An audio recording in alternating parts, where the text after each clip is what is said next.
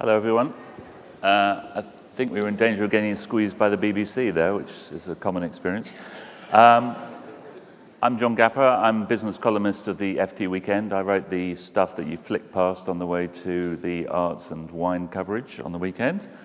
Um, and I'm very pleased, and we're all pleased, I think, to have Lutz Schüler here, uh, a man with a lot on his plate, 100 days since the Virgin O2, Virgin Media O2 merger. So have you solved it all? Yeah, I think um, we have a good start, um, as you say. Well, um, timing is also everything, um, right? I, I, think we all know that our networks have kept the country connected uh, during the pandemic, and, and now it's all about uh, rebounding the economy. And um, I think in the perfect timing now we bring a strong mobile brand, or the strongest mobile brand with the O2, and a 5G network with Virgin Media and the fastest network together. And uh, so I, I, think it's a power couple. Um, I tell my organization it's the coolest gig to run in Europe for sure. And we are maybe a bit in honeymoon phase, but, but yes, we came very good off the blocks and, and have an excellent start. So, I mean, you mentioned the pandemic and the whole changes in working patterns, people staying at home, maybe people more working from home more, longer distance commutes and, and wanting the home office. Do you think that's a big, big long-term opportunity, or are we going to? Absolutely. I mean, we will never go back uh, to working five days in an office. I think all of us know that. Um, we have not tested our network for such a usage, right? Nobody has stress tested uh, for more than uh, um, the, the capacity used during the pandemic onto our networks has more than doubled, basically overnight. And um, so, so now it's about um, in the B2B sector, helping companies to find the right environment uh, that people can still work together while they, they are uh, at home. Um, infinitive opportunities for us. I think, I mean, look, very high level, um, right? And I, I started uh, to work in the connectivity business, in, in the mobile business actually, uh, back in 94. I haven't learned anything different. And so, so, connectivity was always important, but I think we lost a bit our importance because everybody was talking more about the content or the value on top of our networks.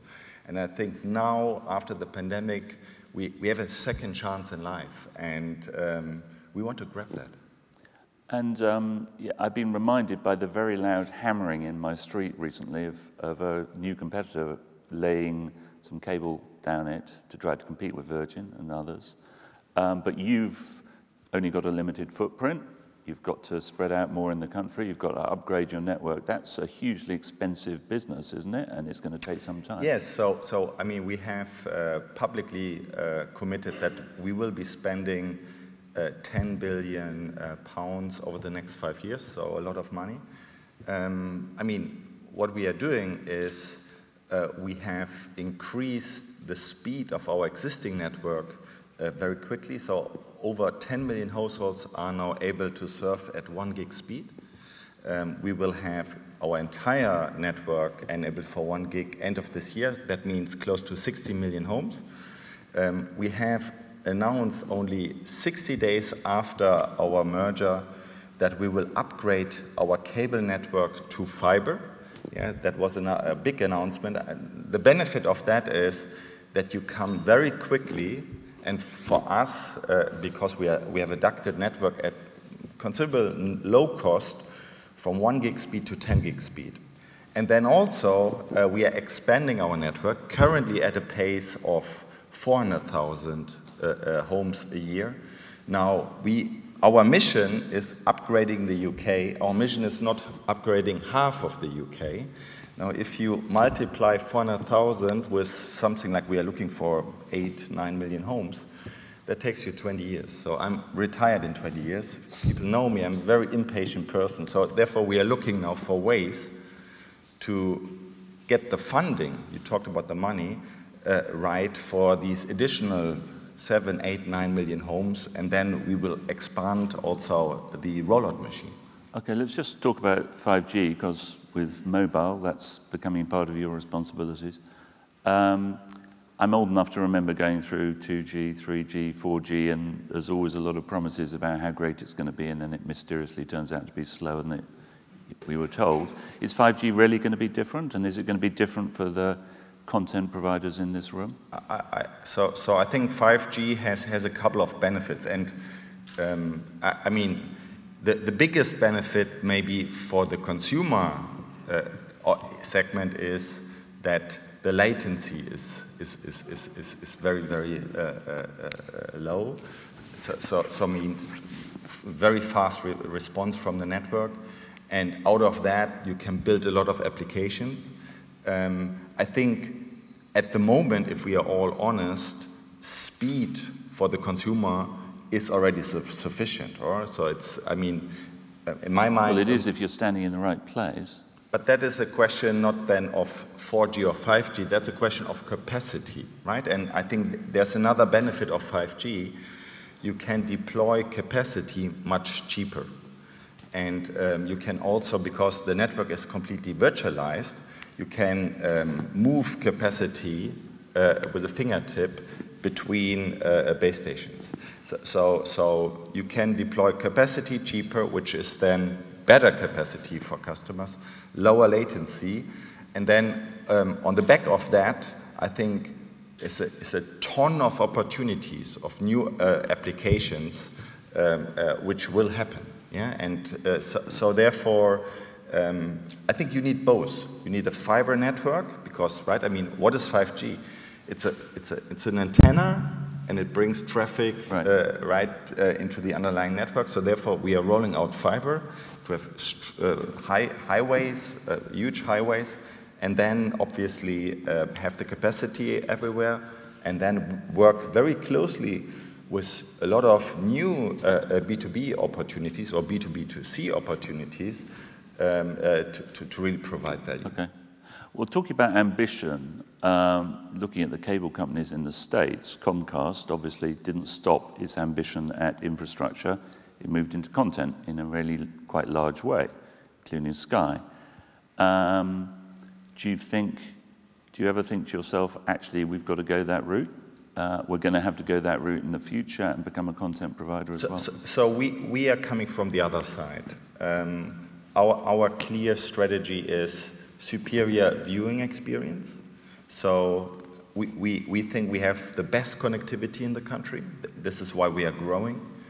We combine that with a platform, easy to access, high quality, and then we have every content the customer wants on that platform. And uh, for us, this strategy pays off.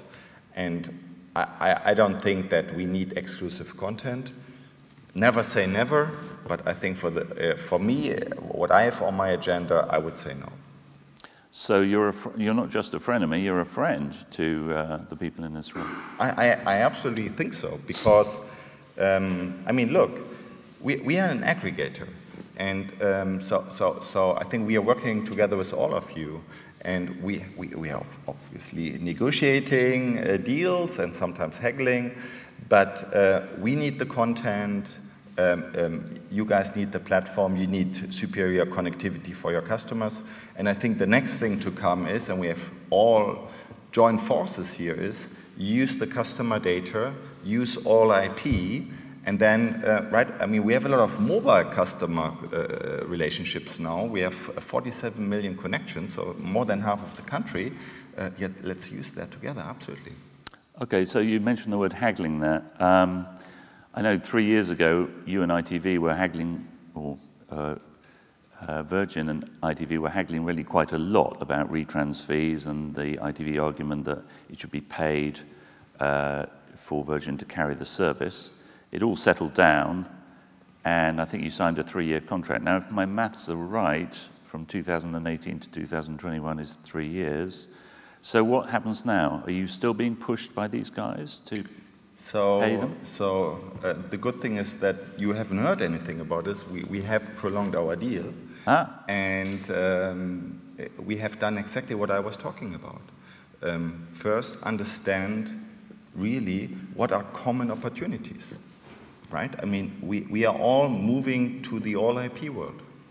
Um, um, advanced advertising, um, getting the data from the customer back to production. Um, there, there's so much stuff we can do together. So therefore, my clear view is now, if we would go back and haggle about retransmission fees, what a waste of lifetime. Let's innovate together. If we don't innovate, we will die. If we innovate together, we will create value, and when we, when we create value, we will also compete internationally. Very simple for me. And just on mobile content, um, you know, TikTok has obviously been a huge, a huge thing. Um, I had the privilege of going to Cannes once and listening to Jeff Katzenberg talking about New TV, which became Quibi and then became nothing. Um, uh, how do you think we should think about mobile content or producers, broadcasters, uh, creative people should think about mobile? And is there a real opportunity there? Um, we, we absolutely hope there is an opportunity. I mean, we believe in convergence. You, you, see on the connectivity side that people want uh, um, seamless connectivity. And I think something similar is happening on the content side, but people still are differentiating between um, content on the big screen and content on the small screen. And also, it's not only about the content, it's also the way how, how you buy it, right? I, I, don't know in your family, but in my family, it's a complete mess, right? Some of. of uh, yeah, my family is a complete mess, but let's not get into it. I mean, only in terms of how you manage your, your, your, your, apps. Um, we, we don't have the answer. I mean, we have started now, right, to, to uh, on the O2 side, to, to uh, package Disney Plus uh, with our offers. Uh, we, we got huge success out of that. You see this more and more happening. So, so the question is, um, can we help that our customers who, who have seamless connectivity get also a seamless access to content. And we work with our content partners together in a way that both screens are considered the right way. That, that would be fantastic for us. Am I sitting here and am I having all the answers? No. And um, just thinking about the States again, there's been a big trend of cord cutting there, of people just going straight to just having a broadband connection, cutting off the, the cable connection, cable television connection. Uh, and I think one estimate is there might be by the mid 2020s 50 million homes in the States that are like that. That hasn't been such a big trend in Europe. Do you think it's going to come? No, I don't, I don't think so. Um, I, I, maybe because of two reasons. Number one, I think in the States, what, what happened there was uh, that you were forced to buy huge TV packages to get to the content you really want and an unbundling with direct to consumer has helped customers to really uh, save money. This is not the case here. Um, and I think second thing is, uh, I mean, we, we, we, just listened to Tim, right? There's no BBC quality content uh, uh, available in the States like that, uh, free to air. So I think that combination, um, I mean, we, we, are almost flat with our TV customer base we will, we will be launching soon our first uh, IPTV offering, uh, targeting more at the younger segment. Maybe it's the other way around for the younger segment, that you start with Netflix, but then you get to the linear content. I think even my children, right? I mean, they watch the Olympics, they watch uh, uh, a lot of sports, they watch also some shows on, on uh, uh, uh public television. So I think it's a question how you package it. Okay. And final question. Um, Ofcom's been quite good to you guys, I think, uh, or it's certainly given you some predictability in terms of wholesale rates and so forth. It's a, and, and we have, as we found out, a very a changing government. Um, is there anything you'd say to the government about the sort of regulatory structure and what a company like yours needs for the future? Yeah, well, um, I, I think still to have one gig everywhere in the UK is, is the target for the government. I think now it, it was turned down to 85%, one gig availability until 2025. We will deliver more than 50% end of this year. Um, so, so that thing is not solved, number one. Number two, as you said, we, huge investments are needed. And I think Ofcom's role is, on one hand side, to keep uh, uh, really uh, looking for the customer, the consumer, but also make sure you have an investment-friendly uh, environment. So it's a balancing act, and I, have seen Melanie, so I'm, I'm sure uh, uh, you will have a view, Melanie, on that. But, but I think, it, and it's also we should work, together on that, right? So, and, and we want to have satisfied customers ourselves. So I think it's good to stay in the conversation. It will be a, a, a balancing act in the future.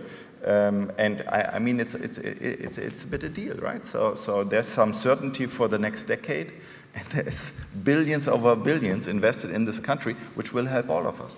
Okay, well, billions invested in this country is a good note to end on. So, Lutz, thanks very much indeed. And next, we're going to have a panel on fake news.